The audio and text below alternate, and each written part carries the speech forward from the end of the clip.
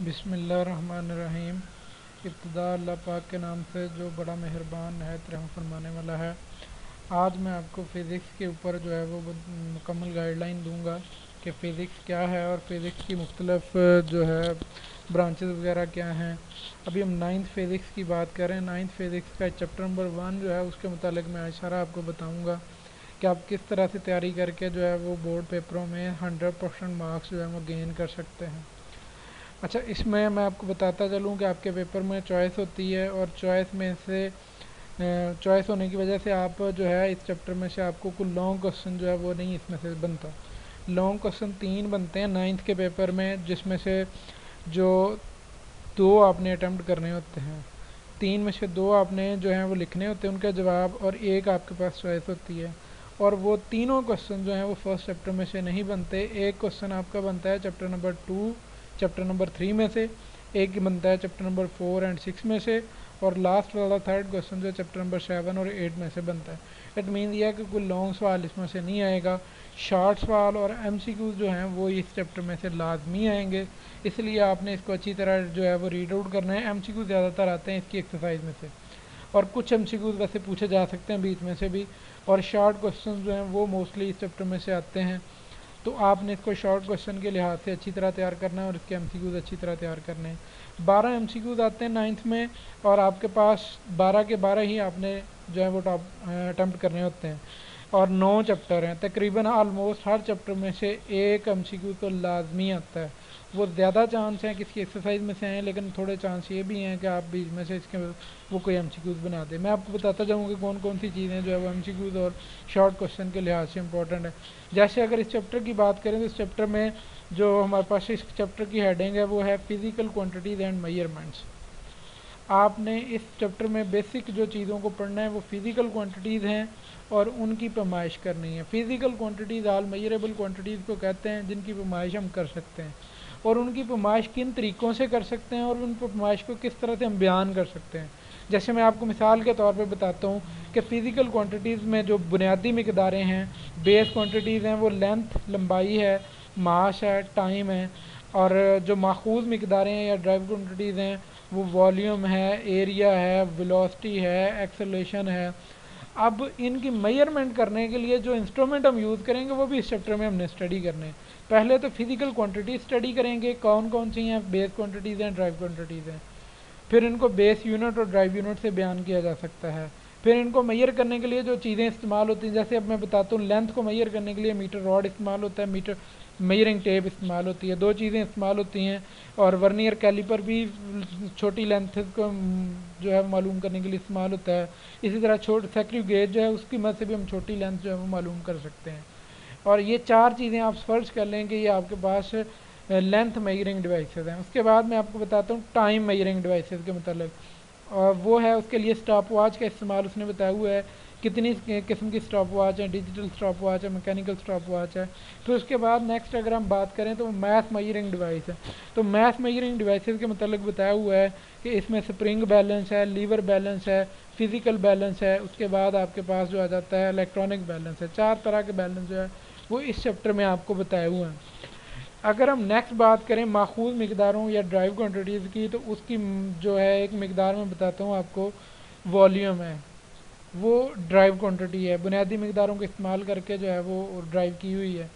अब उसको मैयर करने के लिए मैयरिंग सिलेंडर इस्तेमाल होते हैं। ये सारी मैयरमेंट तो हम कर लेंगे। अब इस मैयरमेंट के बाद इन चीज़ों को अच्छे तरीके से हमने बयान करना है। तो उस बयान करने के लिए हमें मुख्तलिफ़ फार्मूलों का पता होना चाहिए। वो फार्मूले चैप्टर में सिखाए गए। जैसे मैं सबसे पहले आपको बताता हूँ कि आप प्री फिक्सेस का इस्तेमाल करते हैं, बड़ी मकदारों को छोटे तरीके से ज़ाहिर करने के लिए। जैसे आप कहते हैं पैंतालीस हज़ार मीटर है तो उसको मैं लिख सकता हूँ पैंतालीस किलोमीटर। किलो क्या है? प्री फिक्सेस है। यानी उसको मुनासिब तरीके से बयान करने के लिए प्री फिक्स इस्तेमाल किया जाता है। अच्छा अब इसमें प्री फिक्सेस से भी पहले एक चीज़ आती है, वो साइंटिफिक नोटेशन होती है। जिसमें आप उसको मना दस की मुनासिब पावर के साथ रकम को लिखते हैं। जैसे पैंतालीस हज़ार मीटर को अगर मैं लिखूँ तो पैंतालीस तरफ़ दस की पार तीन मीटर लिखूँगा और वो बन जाएगा। दस की पार तीन जो है वो प्री फिक्सेस है किलो की तो वो पैंतालीस किलोमीटर बन जाता है। इसके बाद नेक्स्ट जो चीज़ आती है, वो डाटे को राउंड ऑफ़ करना आता है। अगर डेसिमल में आपके पास कोई चीज़ आ जाती है तो फिर इसको राउंड ऑफ़ कैसे करते हैं? फिर उसके बाद इस चैप्टर में बात होती है अहम हिंसों की। अगर आपके पास नुमाइश आ जाती है तो उसमें डेसिमल के बाद कितने पॉइंट जो हैं वो अहम हैं। अगर वैसे आपके पास कोई रकम है तो उसमें लास्ट वाले ज़ीरो इम्पोर्टेंट हैं या नहीं है। तो मतलब ये है कि ये पूरा चैप्टर बात करता है फ़िज़िकल क्वांटिटीज़ की, उसमें बेस और ड्राइव क्वांटिटीज़ हैं। फिर उनकी मेज़रमेंट के मतलब जो डिवाइसेस इस्तेमाल होती हैं, उनके ऊपर ये सारा चैप्टर जो है वो बहस करता है। और स्टार्ट में ये थोड़ा सा चैप्टर बताता है आपको इंट्रोडक्शन टू फिज़िक्स के ऊपर। यानी फ़िज़िक्स क्या है, उसका तारफ़ आपको ये समझाता है। अब मैं थोड़ा फर्दर बात करता हूँ। ये तो पूरा जो है ओवरव्यू मैंने आपको दे दिया पूरे चैप्टर का। अब मैं आपको बात बताता हूँ कि क्या क्या चीज़ें आपने इसमें से याद करनी है, जो आपके लिए हेल्पफुल है, जो पेपर में आनी है, जिसको आपने रट्टा नहीं लगाना, बस टू दी पॉइंट वो तारीफ़ याद कर लेनी है, समझ के। अब सबसे पहले अगर मैं बात करूँ तो पेज नंबर बुक का है टू उसमें आपके पास ये मैंने जो हाईलाइट की हुई है डेफिनेशन है साइंस की। यानी साइंस क्या है? The knowledge gain through observation and experimentation is called science यानी वो इलम जो हम देखने से या तजर्बात करने से हासिल करते हैं, उसे साइंस कहते हैं। और ये एक लतीनी ज़ुबान का लफ्ज़ है, जिसका मतलब है जानना। ये साइंस की तारीफ़ है, ये आपने याद करनी है और यहाँ से बुक पे ऐसे निशान लगा लें, ये इंपॉर्टेंट है। और उसके बाद नेक्स्ट जो इम्पोर्टेंट सवाल है, वो है फ़िज़िकल साइंस और बायोलॉजिकल साइंस में फ़र्क। साइंस की आगे ब्रांचेस बनी, पहली फ़िज़िकल साइंस थी, दूसरी बायोलॉजिकल साइंस फ़िज़िकल साइंस जो है वो all living non living things की स्टडी है. यानी गैर जानदार चीज़ों का मताल जो है वो फ़िज़िकल साइंस कहलाता है और जानदार चीज़ों का मताल जो है वो बायोलॉजिकल साइंस कहलाता है. और वो मैंने अंडरलाइन किया हुआ है यहाँ से लेके यहाँ तक.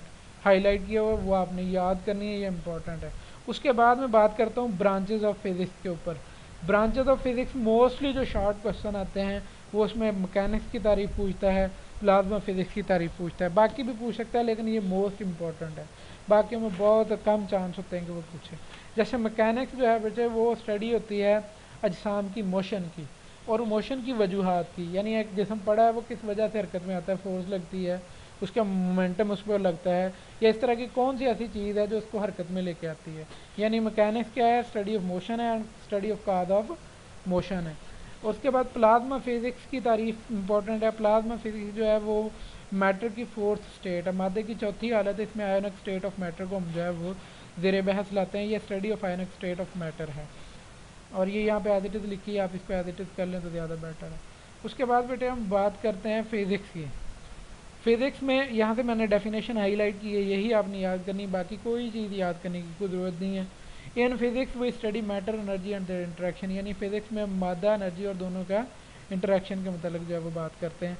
नेक्स्ट अगर मैं बात करूँ तो वो इस मतलब पेज में से आपने कुछ नहीं याद करना, जब पेज नंबर फोर पे चले जाएँ तो वहाँ पे एक फ़िज़िकल क्वांटिटीज़ की डेफिनेशन आती है कि all measurable quantities are called physical quantities such as length mass time इतनी ही आपने याद करनी है।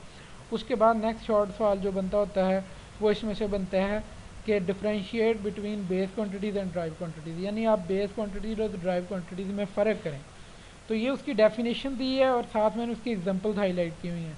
बेस क्वांटिटीज़ वो क्वांटिटीज़ होती हैं जिनकी बुनियाद पे जो है वो दूसरी क्वांटिटीज अखज़ की जाएँ। जिनकी जिनसे दूसरी क्वांटिटीज़ निकाल ली जाएँ, वो बेस हैं। उसकी मिसाल लंबाई मास और टाइम है।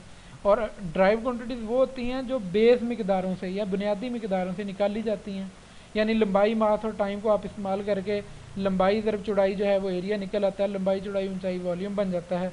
तो इस तरह से बेटे वो क्वांटिटीज़ जो बुनियादी मकदारों को इस्तेमाल करके निकाली जाएँ, वो ड्राइव क्वान्टिटीज़ बन जाती हैं। ये दोनों तारीफ़ें बहुत इंपॉर्टेंट है और इनकी मिसालें साथ। उसके बाद नेक्स्ट बात करते हैं हम unit internet international system of unit के।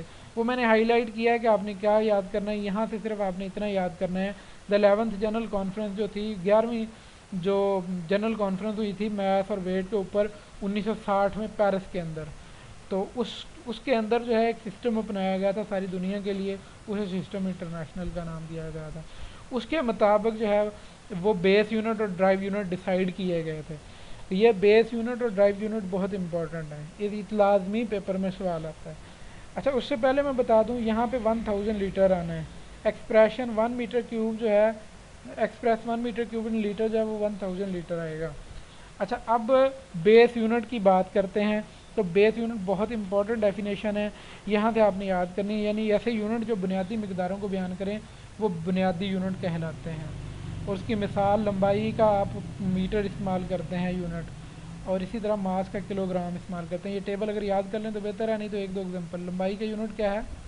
मीटर। ये। उसके बाद मास का यूनिट क्या है? किलोग्राम टाइम का सेकंड है, आपको पता है। उसके बाद ड्राइव यूनिट है। ड्राइव यूनिट की तरफ़ अगर हम बात करें तो इसकी डेफिनेशन बहुत इंपॉर्टेंट है। The unit used to measure derived quantities यानी ऐसे यूनिट जो ड्राइव क्वान्टिटीज़ को मैयर करने के लिए इस्तेमाल हों, वो ड्राइव यूनिट्स या माखूज यूनिट्स कहलाते हैं। यानी ऐसे यूनिट जो माखूज मकदारों को मैयर करने के लिए या मापने के लिए इस्तेमाल हों। इसकी मिसाल आप सादा सी ले लें। स्पीड है मीटर पर सेकंड फासला बटा वक्त होता है, फासला मीटर लंबाई में होता है और वक्त टाइम सेकंड में हो जाएगा। इसकी एक दो एग्जांपल्स आपने याद कर लेनी है, बहुत इंपॉर्टेंट है।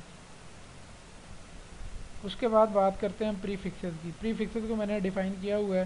प्री प्री का मतलब होता है पहले और फिक्सेस का मतलब फिक्स किया हुआ है। यानी ऐसे अल्फाज या लेटर्स या वर्ड्स होते हैं जो ऐसे यूनिट से पहले फिक्स कर दिए जाते हैं, उनकी एक मखसूस कीमत होती है। ये कीमत यहाँ पे दी हुई है, किलो की कीमत दस की पार तीन है मैगा की कीमत दस की पार छः है। तो आप ये एक मिसाल साथ याद कर लें, अगर आप दो lakh metre per second speed है तो उसको 200 को ज़र दस की पार तीन, ये साइंटिफिक नोटेशन में लिख लिया और उसके बाद इसको दस की पार तीन को प्री फिक्स किलो इस्तेमाल करके ख़त्म कर दिया। तो ये एक प्री फिक्स का इस्तेमाल हो गया। बहुत इंपॉर्टेंट सवाल है ये। उसके बाद नेक्स्ट जो बात करनी है वो साइंटिफिक नोटेशन है। साइंटिफिक नोटेशन बहुत इंपॉर्टेंट है। शॉर्ट क्वेश्चन में ये डिफ़ाइन भी आ सकता है। इसकी आपको एक न्यूमेरिकल वैल्यू दी होगी। उसे भी कहा होगा कि आपने जो है वो लिखें साइंटिफिक नोटेशन में। तो वो उस तरह का भी सवाल बन सकता है। अगर तो डेफिनेशन आए तो इसमें आप किसी भी एक्सप्रेशन को है, वो दस की मुनासिब पावर के साथ लिखते हैं। जैसे फॉर एग्जांपल मैंने इसे हाईलाइट किया है। यहाँ पे जिस पॉइंट नहीं होता, उसके लास्ट में होता है। तो यहाँ से हमने पॉइंट उठा के लास्ट में से यहाँ पे सिक्स के करीब लेके आना होता है, पहले डिजिट के। तो जितने दर्जे आए हैं, वो दस की मुनासिब पावर के साथ लिख देना है। हमने चार दर्जे यहाँ से यहाँ तक मूव करना है तो वो दस की पावर फोर आ जाएगा। और अगर इसके अगेंस्ट उल्ट हो, यानी आप इस साइड पे हों, और यहाँ से आपने पहले नॉन ज़ीरो पे आना हो, यहाँ पे फोर के पास तो जितने दर्जे आए, वो दस की पावर मुनासिब पावर में लिखा जाता है, लेकिन उसके साथ माइनस आता है। तो ये एक साइंटिफिक नोटेशन के साथ लिखने का तरीका है। ये दोनों एग्ज़ाम्पल इसमें हो जाती हैं और दोनों आपने करनी है और पेपर में इसी तरह का न्यूमेरिकल सवाल जो है वो आ जाता है बाद दफ़ा उसके बाद बात करते हैं मयरिंग इंस्ट्रूमेंट के ऊपर। मयरिंग इंस्ट्रूमेंट जो हैं, वो असल में पमाशी आले को कहते हैं। शुरू से कुछ नहीं याद करना आपने। ये एक मीटर रूल के ऊपर है। ये एम में पूछा जा सकता है कि मीटर रूल की लीज काउंट कितनी है। और ये मतलब आपने मीटर रूल के मतलब आपको थोड़ा सा पता हो। मीटर रूल में जो याद करना है, वो आपने यहाँ से याद करना है कि एक मीटर लंबा होता है और इसमें सौ सेंटीमीटर होते हैं और हर सेंटीमीटर के अंदर दस मिलीमीटर के छोटे निशान होते हैं। इस तरह से इसके ऊपर हज़ार मिलीमीटर के छोटे निशान लगे होते हैं और इसकी लीज जो है वो वन मिलीमीटर होती है। यहाँ तक आपने यही बात याद रखनी है। वो हाईलाइटेड है, वही आपने याद करना है। मेयर एंड डेम में कुछ नहीं याद करने वाला, पहली लाइन आप याद कर लें कि ये जो है वो मीटर और सेंटीमीटर में फरमाइश देती है। उसके बाद वर्नियर कैलिपर में एक मोस्ट इंपॉर्टेंट सवाल है जो बार बार आता है कि वर्नियर कांस्टेंट क्या है? वर्नियर कैलिपर की लीज काउंट क्या होगी? तो मैंने यहाँ से हाईलाइट किया है the difference between two between one small division और मेन स्केल ये मेन स्केल है इसके ऊपर जो uh, छोटी डिवीज़न के दरमियान फ़र्क है वो और एक वर्नियर स्केल के दरमियान जो है ये वर्नियर स्केल है। छोटी डिवीज़न के दरमियान जो फ़र्क है वो 0.1 मिलीमीटर होता है और इसको इसकी लीज काउंट कहते हैं। और लीज काउंट का याद करने का फार्मूला, निकालने का फार्मूला ये है, ये भी आपने अच्छी तरह याद करना है फार्मूला भी। और ये वन ईयर कॉन्स्टेंट के सवाल में भी यही कुछ लिख रहे हैं। ये बहुत इंपॉर्टेंट पेपर में बार बार आने वाला सवाल है। तो इसलिए आपने शॉर्ट ही आने हैं और इसको अच्छी तरह याद करना है। और इस तरह से इसकी लीज काउंट 0.1 मिलीमीटर होगी। अगर 0.1 मिलीमीटर को मिली सेंटीमीटर में कन्वर्ट करें तो 0.01 सेंटीमीटर हो जाएगी। बाकी वर्किंग लॉन्ग में आ जाता है और लॉन्ग इसमें से चौंका आना नहीं है। तो इसलिए आपने इसमें से कोई वर्किंग नहीं याद करनी। वैसे वर्किंग इम्पोर्टेंट है प्रैक्टिकल के लिए, लेकिन आपने इसमें से याद नहीं करनी। अब एक सवाल आ जाता है कि ज़ीरो एरर क्या है? पॉजिटिव और नेगेटिव ज़ीरो एरर में क्या फ़र्क है? तो यहाँ से आपको मैंने हाईलाइट किया है कि पॉजिटिव एरर कब होगी और नेगेटिव एरर कब होगी। जैसे zero error will be positive अगर ज़ीरो एरर पॉजिटिव होगी, अगर वन ईयर स्केल का ज़ीरो जो है वो मेन स्केल के पीछे रह जाए और अगर वर्नियर स्केल का ज़ीरो मेन स्केल से आगे आ जाए तो तब एरर जो होगी वो नेगेटिव होगी और ये वाली फिगर जो हैं वो अच्छी तरह आपको बयान कर रही हैं। और ये हाईलाइट है, ये आपने याद करना है और फिगर से इसको अच्छी तरह समझ लेना है। इसके बाद जो नेक्स्ट टॉपिक आता है, वो आता है सेक्रूगेज के ऊपर। सेक्रूगेज जो ये भी लेंथ मेजरिंग डिवाइस ही है एक तरह की। इसमें आपने जो है, पहली तारीफ़ अच्छी तरह याद करनी है, वो ये यहाँ से है कि पिच की क्या तारीफ़ है।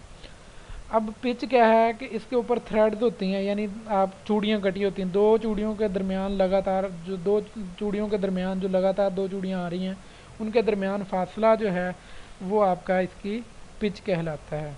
यानी दो कंजक्टिव थ्रेड के दरमियान जो फासला है, वो सेक्रीगेज की पिच होता है। ठीक है? और इसकी यही आपने तारीफ़ याद कर लेनी है, यही इंपॉर्टेंट है। इसके बाद इसकी लीज काउंट के मतलब आपको पता हो लीज काउंट का फार्मूला है पिच ऑफ़ सेक्रीगेज बटा नंबर ऑफ़ डिवीज़न और सर्कुलर स्केल सर्कुलर स्केल इसकी ये वाली है, मैं जो इसको हाईलाइट कर रहा हूँ, ये वाली जो है इसकी सर्कुलर स्केल है।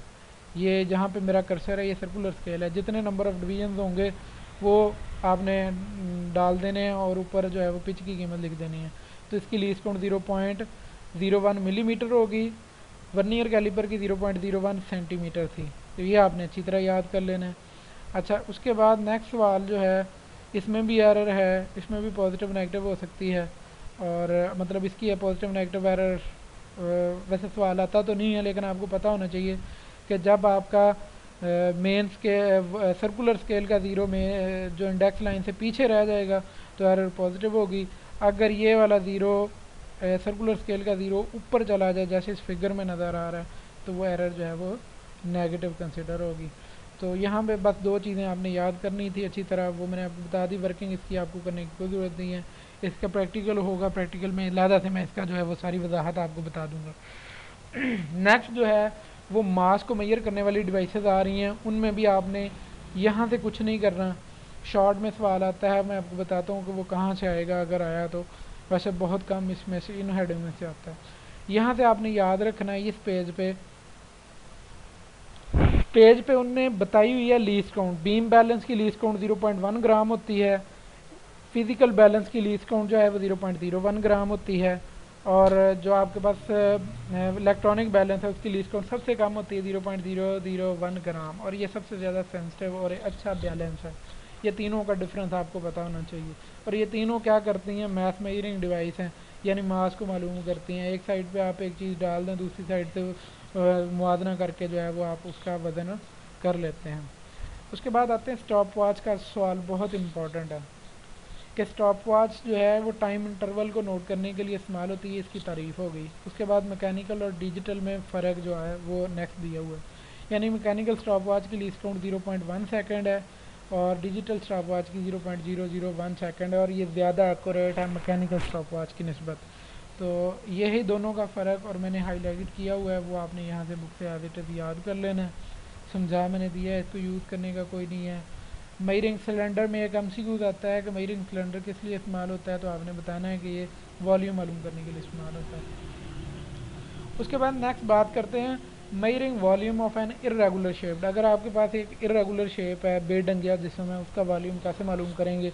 आप मईरिंग सिलेंडर में पानी डालें, उसका वॉल्यूम नोट कर लें, उसके बाद आप उसमें वो बेडंगी चीज़ डाल दें अब उससे पानी का वॉल्यूम जो है अप होगा। दोबारा वॉल्यूम नोट करें। अब जितने वॉल्यूम में फ़र्क आया है या जितना वॉल्यूम बढ़ा है, वो उस बेडंगी जिसम का जो है वो वॉल्यूम है। ये इसका मालूम करने का तरीका है। उसके बाद नेक्स्ट सवाल बहुत ही मशहूर है, बहुत ही इंपॉर्टेंट है। पेपर में अक्सर औकात आता है। सिग्निफिकेंट फिगर्स या अहम इनसे क्या होते हैं? तो इसको आपने यहाँ से याद नहीं करना है। वैसे ये पढ़ लीजिएगा जो मैंने हाईलाइट किए हैं। और ये आपको मदद देंगे इस तरह के एक्सप्रेशन में काउंट करने के, कि इसमें सिग्निफिकेंट फिगर कितने हैं? चार हैं, इसमें तीन हैं, इसमें भी चार हैं। तो ये उसको समझने के लिए जो आपको हेल्पफुल हैं मैं बता भी देता हूँ। लेकिन इसकी डेफिनेशन आती है। कि डेफिनेशन क्या है? आल दी एक्यूरेट यानी सारे के सारे मालूम से सही तौर पे मालूम से और पहला मशकूक इनसा जो होता है, वो आपका सिग्निफिकेंट फिगर्स होता है। अब इसके रूल्स की तरफ़ बढ़ते हैं, उससे आपको ये पढ़ने आ जाएँगे, ये चार, पाँच रूल हैं कि नॉन ज़ीरो सारे जो हैं, वो अहम हैं। दो नॉन ज़ीरो के दरमियान अगर ज़ीरो आ जाता है तो भी वो अहम होगा। एंडिंग ज़ीरो जो है, वो डेसिमल यानी पॉइंट के बाद जो आखिरी ज़ीरो होते हैं, वो अहम उनसे होते हैं। और अगर आप डेसिमल से जो पहले होते हैं, जैसे ये है तो ये अहम नहीं होते। होल नंबर अगर आपके पास कोई मुकम्मल एक्सप्रेशन दिया हुआ है, उसके ऊपर है, जैसे 2500 है। पच्चीस सौ के आखिरी दो हिस्से जो ज़ीरो हैं, वो अहम हो भी सकते हैं, नहीं भी हो सकते। तो ये इसके कुछ रूल्स हैं, जो आपको पता होने चाहिए। और आपको जो है, ये सवाल आ सकता है इस तरह से भी कि यानी इस एक्सप्रेशन में अहम हिस्सों की तादाद बताएँ तो चार है, इसमें तीन है, इसमें अगेन चार है। तो आपको पता होना चाहिए किसी एक्सप्रेशन में अहम हिस्सों की तादाद कितनी है। और यहाँ पे एक और बात रहेगी कि राउंड ऑफ़ कैसे करना है आपने चीज़ों को। डाटा आपने मालूम कर लिया अब उसको राउंड ऑफ़ करके छोटा करके बताना है। तो मैं आपको बता दूँ फॉर एग्ज़ाम्पल ये है कि अगर आपने तीन इनसे आ रहे हैं, आपने इसको स्किप करना है, अगर तो वो फाइव या फाइव से छोटा है तो वो वैसे स्किप होगा। जैसे थ्री को स्किप कर दिया वन पॉइंट नाइन फोर रहा। अब नेक्स्ट बात करते हैं कि अगर one point for example one point four seven हो, इसमें तरीफ नहीं आती, इसी तरह राउंड ऑफ़ करने का आ सकता है। तो इसको राउंड ऑफ़ कैसे करना है? जैसे सेवन को हटा दें हम तो इसकी जगह पे हम क्या करेंगे? वन पॉइंट फाइव कर देंगे। अब इसी तरह एक नेक्स्ट एग्जांपल ले लेंगे अगर वन पॉइंट थ्री फाइव हो तो फाइव को हटाना हो तो फोर कर देंगे। और अगर वन पॉइंट फोर फाइव हो, ये समझने वाली बात है कि अगर वन पॉइंट फोर फाइव हो तो फिर उसको कैसे फाइव को हटाना है? तो फाइव को आपने वैसे ही हटा देना है। अगर यहाँ पे इवन नंबर हो, यानी जुफ्त दाद हो तो उसको जुफ्त ही रहने देते हैं और लास्ट वाले फाइव को हटा देते हैं। अगर ताक होता, जैसे थ्री था इवन ऑड नंबर होता तो उसको फोर कर देते और फाइव को हटा देते। तो ये बात याद रखनी है, अगर इवन नंबर और लास्ट में फाइव हो तो फाइव को वैसे ही ख़त्म कर देना इवन को इवन ही रहने देना उसके ऑड नहीं बना देना। तो ये था पूरा पहला चैप्टर जो इसमें से सा, आठ से दस मैंने आपको शॉर्ट क्वेश्चन बताए हैं, जो मोस्ट इम्पोर्टेंट हैं, जो पेपरों में आते हैं। और इसके बाद मैंने एम के ऊपर थोड़ा सा वर्क किया था यहाँ पर कि मैंने सारे जो सही जवाब थे, वो यहाँ पर क्लिक कर दिए थे। जैसे पहले का सेवन है, फिर किलोग्राम है, इसी तरह मोल है, ये है, इसका फोर्थ का जवाब फाइव का जवाब वर्नियर कैलिपर है सिक्स का जवाब। सेवन का ये जवाब है, एट का ये जवाब है, इसको आप अच्छी तरह याद कर लें, इसको समझाने की ज़रूरत नहीं है मेरे ख्याल में। आप एज इट इज़ स्टेटमेंट आती है तो ये सिग्निफिकेंट फिगर्स की डेफिनेशन ही अगेन आ गई है इसमें। तो इसको आप अच्छी तरह जो है वो तैयार कर लें हम को ऐसे ही यहाँ से देख के चार जवाब आने ही होते हैं, वो आपने कर लेना है। उसके बाद मैंने ये सवाल है हाईलाइट किए हैं, ये आपने करने हैं। Pick out the base unit in the following यानी बुनियादी जो यूनिट हैं, वो इस्तेमाल करें। बताएँ कौन कौन से किलोग्राम बुनियादी यूनिट है। उसके बाद मोल बुनियादी यूनिट है, लेंथ का मीटर बुनियादी यूनिट है, कैलवन बुनियादी यूनिट है, और करंट का एम्पेयर बुनियादी यूनिट है। ये चार पाँच जो है, ये बुनियादी ही आपने अदा कर देने, बता देने कि ये बुनियादी। स्टॉप वॉच का सवाल है इज़ मैंने पहले बता दिया कैसे याद करना है, वही करना है। सिग्निफिकेंट फिगर की तारीफ़ भी हो गई है पहले ऊपर। वन ईयर कॉन्स्टेंट का मतलब भी पहले ऊपर हो गया है। ये सारे सवाल ऊपर हो गए हैं तो आपने शॉर्ट में यही करने हैं। उसके बाद ये मैंने हाईलाइट किए हैं कि आपने प्री फिक्स का इस्तेमाल करके इसको लिखना है तो मैंने पहले बता दिया था, पाँच के जी आ जाना, ये तीन जो है वो दस की पार तीन, यानी हज़ार के बराबर है, और हज़ार किलो के बराबर होता है तो आपने पाँच के जी लिख देना है। इसी तरह ये दस की पार छः बनेगा, वो मेगा का प्रीफिक्सेस है, वो यूज़ कर लेना है। मतलब इस तरह से आपने प्रीफिक्सेस को लिख लेना और rewrite the following in standard form इसमें आपने ऐसा स्टैंडर्ड साइंटिफिक नोटेशन में लिखना है, यानी यहाँ से पॉइंट उठा के एंड से और एक नॉन ज़ीरो यानी शुरू में लेके आना है, एक एक इंसे के बाद।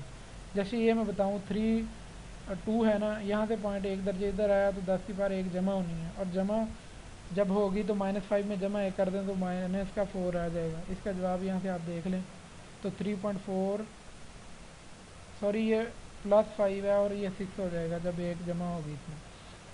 ठीक है, ये यहाँ पर बुक पे गलती है, ये प्लस फाइव है और जब यहाँ से यहाँ एक आएँगे तो एक पावर ऐड होगी तो ये सिक्स बन जाएगा। इसी तरह यहाँ से यहाँ जब आएँगे तो दो दर्जे माइनस के ऐड होने हैं। माइनस आठ और माइनस दो माइनस दस हो जाएगा। यानी इस साइंटिफिक नोटेशन में लिखने का ठीक है। इसको भी साइंटिफिक नोटेशन में ही लिखना है। आपने ये भी आसान है। यानी यहाँ से ज़ीरो उठा के आपने यहाँ पे लेके आना है। सिक्स पॉइंट फोर दरब दस की पार तीन किलोमीटर आएगा। इसमें यहाँ तक ज़ीरो ला के आपने दस की पार फाइव में आ जाना है। तो ये साइंटिफिक नोटेशन में लिखने का तरीका जो ऑलरेडी मैंने बता दिया है। इसमें आपने बताना है कि अहम इंसों की तादाद कितनी है, इसमें चार है, इसमें आखिरी ये तीन ज़ीरो, अहम है, इसमें तीन अहम है, इसमें भी चार और ये आपका चैप्टर मुकम्मल हो जाता है यहाँ पे। और ये इसी तरह मैं इंशाल्लाह आपको नौ लेक्चर्स में आपकी पूरी बुक की तैयारी करवाऊँगा जो हंड्रेड परसेंट रिज़ल्ट गेन करने के लिए ज़रूरी है। अगर आप उसको तैयार कर लेते हैं और आप in hundred and ten percent जो है वो पूरे मार्क्स हासिल कर सकते हैं। ये गारंटी से मैं कह रहा हूँ। और आपने इसको अच्छी तरह से तैयार करना है। यही सवाल बार बार पेपरों में आते हैं। आप चेक करने के लिए आप पिछले पेपर देख लें। आप पिछले बोर्ड्स के पेपर देख लें। आप मॉडल पेपर्स देख लें। तो उनमें आलमोस्ट यही सवाल बार बार आ रहे हैं और ये मेरा मतलब पाँच से छः साल का तजर्बा है जिसकी बुनियाद पर मैंने सारा आपको जो है वो गाइड किया है। आप इसको अच्छी तरह तैयार करें और ये आपके इलम के लिए भी फ़ायदा मंद होगा और आपके पेपरों में नंबर गेन करने के लिए भी फ़ायदा होगा।